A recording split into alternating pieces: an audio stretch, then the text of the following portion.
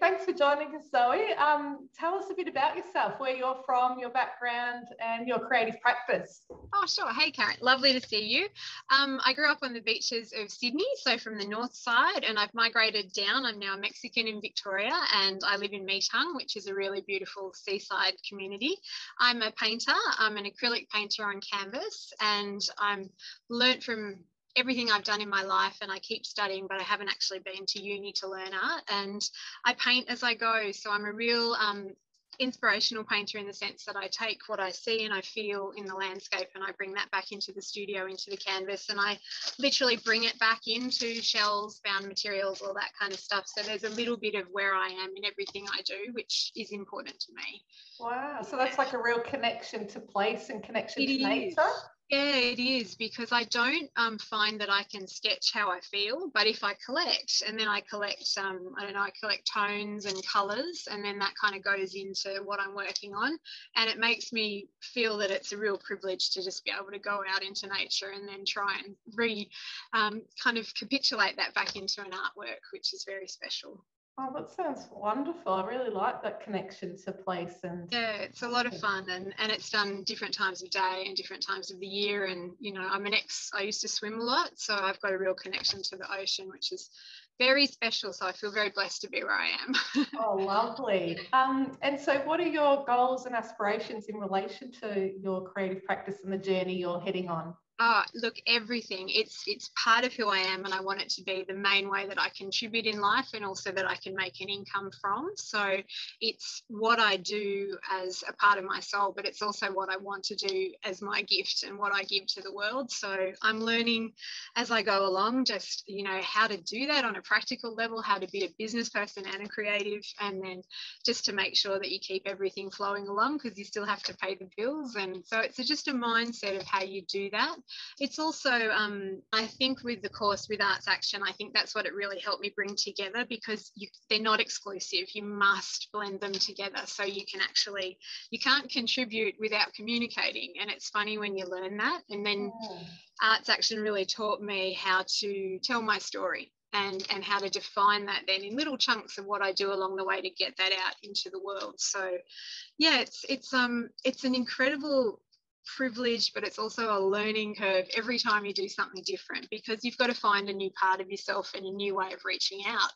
And in the times that we're in, where it's so much more of a digital connection rather than a face to face, it brings out a new part of who you are. And then that comes through the work too. So I've just you know the last year's been like wow my head's just yeah. opened up a lot and and i've had to say okay well you've got to look at it too you know how do you meet your power bills and how do you meet your supply bills of what you need in here to keep going too and you've got to still have that balance but i enjoy that challenge because it kind of integrates parts of me so yeah. it's um, yeah, oh, great. Yeah, so you've mentioned some challenges there. Yeah, finding that balance and getting your work out there. What do you yeah. think the challenges? Oh, you also mentioned the challenges of this whole year, or it's almost two years now, isn't it? With yeah, it is. What do you think the challenges are um, faced by emerging and practicing artists, like in your opinion?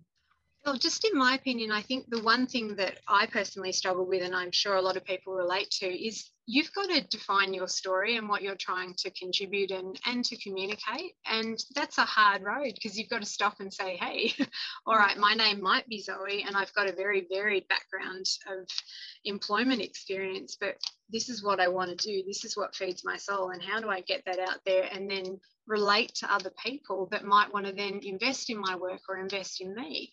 Um, so that's defining your story has been a really big, big thing for me because I personally, I'm, I'm not on Facebook and I'm not on Instagram, and that's just a personal choice based on my my characteristics. I think that they're incredible tools, but I know that if I was to be in that world, I wouldn't get as much work done. So I just have to balance that. But I have a website, so I'm still in the technical realm, and I've had to get a lot smarter with how I do that and how I communicate. I've still learnt to go out there and knock on doors in a COVID safe way um, in the sense that I'll take a couple of little paintings and I'll have a little brief and I'll be like, hi, are you interested in consigning or anything like that? And I've had a lot of really good interactions with people because of that. But I don't think if I hadn't been able to define what it meant to me to be an artist and what I was trying to do, that I would have the courage to go and do that. And Arts Action actually gave me the tools to do that. And that's why I'm, I'm very grateful for what I've learned and what I've experienced with you and with Sharon. Yeah, great. Yeah, you definitely touched on a couple of the key things that Arts Action covers, which is yeah, defining your compelling story, but also navigating the tools to get the word out there and, and, and navigating them so that they align to what your values are as well.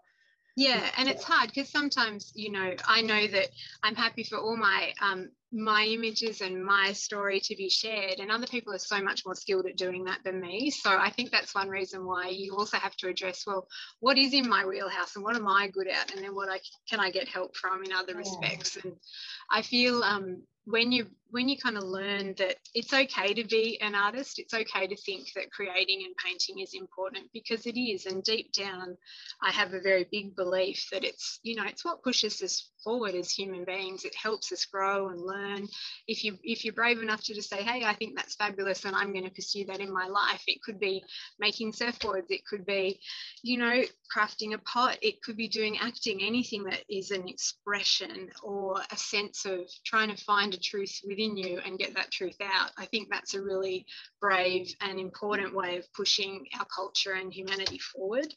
And it's also it's just hard sometimes to make that aligned with a really practical existence as well which we all have to do. But what's happened for me with the course too is it helped me to break down my goals and to really really go big picture and get the you know the mind map out there and go where do i really want to be? But how do i start and that's what I'm still in the starting phase and I've made little steps but I know that a year to two years down the track it's going to be so exciting you know what I see in the world from other people and from myself because if you do plan it and you do start to work it may not be exactly what you thought but you'll surprise yourself and I think there's good things coming for us all yeah. yeah, that's great. And also just having that space to think big and think like what do you actually really want and putting it on paper and it's then so important. it becomes real then because you've actually written down rather than it's all in your head, isn't it? Yeah, I have. And I've got, I'm a big notebook girl and I have a lot and I, I keep going back to them because I learned a long time ago. Um, I, I did a Bachelor of Arts at uni and I um, learned a lot about psychology and it was all about the quality of the questions that you asked yourself. That's how I felt that you pushed yourself forward. And the framework that I got from, from you guys and working with you was just really to ask, keep asking myself better questions. And yeah, you get that answer and you go, okay, I want to paint and I want to sell my paintings, but how and why? And and what's going to happen if you do that? And what if someone says no? what if someone says yes? And what if someone says commissions? you know, and you just kind of got to keep going. And that's it's exciting and scary, but it's um it's just so precious. So yeah, fantastic. Oh, great. And so yeah, you've obviously mentioned that you're a participant in Arts Action. You yeah. attended yeah. the, all the workshops that are part of the three topics being market ready, working together effectively in digital communities. What did you love like the most about the program? Uh, there's a couple of things. So I love the frameworks and the questions that I was able to identify and, and break down my goals into little chunkable action steps. I loved the group accountability that you showed up each week and you were like, so hey, what have you done? Yeah. and for people that are often really in their heads or their hearts and busy doing stuff, it's really important to be able to say, okay, I did this, but I'm not sure if I got to where I needed to be. And to get the feedback from you and Sharon and all your colleagues that you're working with that are all trying to find that part of themselves too, it was really, really special. And just that, you know, collaboration is not a dirty word. You know that there's a way to get out there and work with people even if it's only helping people get a step forward and they help you in a different way that that communication and that sharing of ideas that's really what i benefited from too. And totally new ways of looking at things like to say i want to be a functioning working artist. That's good too. And a lot of the people that we were working with on, on my course were in that kind of modality. And there were brave brave creative people just sharing who they were and that's that's so special. Yeah and was that a big leap for you going from having it as a hobby to actually know I want to be a practicing artist. Yeah, and to actually declare, like I went down the road, not everyone did this, but I went down the financial road of saying, okay, I'm going to hold myself accountable to earning this from my art. And how am I going to do that?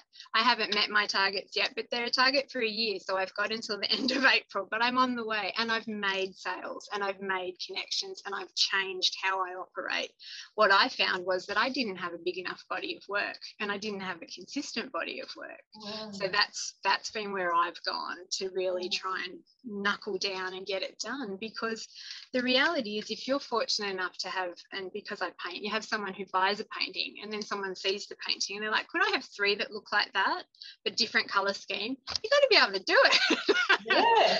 and, and yeah and that's what's so super about it and that's what's happened you know. So I've had you know I've just finished um, two weeks ago I finished a commission and like that was super exciting for me and that came from going out into my local town in a in between period where we weren't locked down, I was lucky enough to have a whole lot of baby works ready. And I just started to see a couple of cafes and garden centre and a gift shop. And someone in the shop saw me holding the painting, and that fed on to something else. And because I had my little elevator speech ready of what I was and what I did, and I had a business card and, and my website was ready, I was able to then move forward and actually do a commission. And that was my first. So Oh wow, that's incredible. Well done for that. And congratulations for taking it on. Because yeah, you it was really it was hard because they wanted me to replicate little works big, which isn't always easy for me. Oh, and oh, wow. so I learned a lot about what what my strengths were and I had to go back and I had to learn to draw again and size and do all that kind of stuff. And that was great because I was way off in the la la la land doing other things. And then it was yeah. like,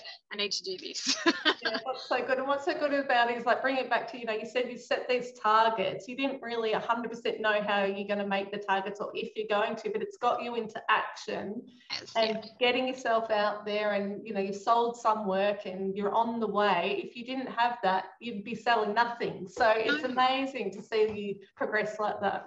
Yeah, I'm so so grateful. But it, it's like you've got a very clever name because it is art in action, and it's you have to act because it's it's that doing that makes the difference. Mm. So, did you find anything particularly like useful or even surprising from participating in Arts Action? Oh, absolutely. I think um, the biggest thing that I found that was surprising was when you really question people about why they do things and they share that information, that shared knowledge and that shared experience of all your colleagues on the screen at the same time, it just it knocked my socks off because people were so open and candid about what they were frightened of, what they were good at. It was everything blending together. And so you don't that whole sense of being an island just disappears. You're like, okay, we may not make the same thing or do the same thing. You know, I can't sing, I'm not a theatrical person, but there were people there with the same energy of just trying to communicate in a good, truthful, honest way for themselves and share that joy that they have. And that was mm. incredibly surprising. And and you facilitate that in a way that's so um, it's empowering because if you take the time to really listen to what someone else is saying, you learn so much and it gives you that little bit of courage. It's like standing on the shoulders of giants, so to speak, because you think, okay, if they've done that and they've taken that photograph and they've they're wanting to see that light, what can I do? You know, can I do that? Can I learn how to do an exhibition? Can I learn how to take a better photograph of my work? Or, you know, what can I do? So it's shared permission and it's just that sense of community too. And I, I, called that collaboration. I felt that we were collaborative in the workshopping, and I thought that was incredibly beneficial. Yeah, great. And um, that peer learning, you, you can't underestimate that, can you? Just the you're feeding off the energy of each other. Yeah. One of the things that I've heard a lot is like having the sense of you realizing you're not alone because it can be quite isolating in this yeah. area can't it yeah it can and people are very um, they're very open and i think when you you know that certain artists have certain challenges and when they start to communicate that you think okay well maybe i can help and i saw a bit of that too there were oh. connections of people helping each other which was really good oh. um, but i think the framework which arts action provides too and particularly where to go like digitally all the off options and information that you guys provided it was it was just like eye-opening. You just had so much available to you and you could think okay well if I do go that way and I and then I can learn how to do this. And like there were wonderful people saying okay well you can get Instagram and you can put a shop on here and that connects to the website and that does this. And and they can show you that in 10 minutes that you would take 7 hours to learn yourself if you weren't totally computer literate. So yeah just that that networking and that shared knowledge was just so empowering. Yeah, yeah. great. Fantastic. So you've already mentioned a number of actions that you took as a result of um, being part of the Arts Action Program and what that opened up for you. What what's next for you? What next actions have you got on the go? Ah, look, more work. Just being much more focused on how I manage um, how I manage my days, get the work done, get it photographed, get it ready to go out into the world, but also to keep um, speaking about what I do. So I've got to find that medium for myself and I've got to learn some new tricks too. Like I think I need to learn how to blog and do that because I can put that on the website and that's a way I feel I can communicate. Then I need to learn how to present and, and how to actually market my work in the sense of being able to teach it because I think that mm. it's a big part of who I am to be able to share the joy and, and the experience that I get from doing or making the way that I make um, with other people because I find it very therapeutic and healing and I'm hoping that other people will too. So I've got to upskill, I've got there's more discipline. I think that's what I've really learnt. Um, and just following through on what you say and keep reviewing your goals because they change as you change. Yeah. yeah. And I, have got a lot more to learn. So I still need to do a lot more kind of digital studies of how to do things better. Um, but I hope to get to the stage one day where I'm I'm making and teaching and someone else is helping me with all the back end of everything that I do to get the art out there and the experience out there. So that's the big picture. Yeah. And to hopefully get somewhere where I can walk really close to the sand and it doesn't take too long. So yeah, sounds yeah. wonderful. um, so what's one piece of advice you would provide others that might be considering taking part in the program? Uh, to, to do it and just to be brave to be yourself and just say, okay, I give myself permission to be where I'm at now, but to be open to learn. And to do the little like to do all the exercises and planning and then see it as a, a way of chunking it down into measurable steps because you do feel better when you actually tick something off. You say okay well i've i've done my bio i've got that down now and i understand my statement and what i'm trying to do.